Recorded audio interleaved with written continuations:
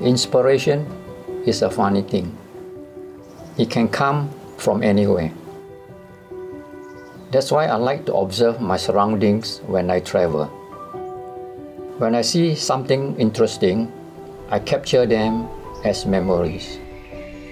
Because you never know when an idea can strike.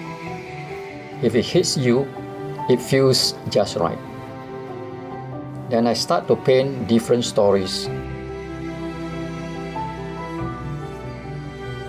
Layers after layers. But like pain, inspiration dries fast. I can spend many hours on a piece of work, and then one day I might choose to redo it. Over the years, I discovered that passion is what keeps me going. You have to enjoy art making, and everything else will fall into place.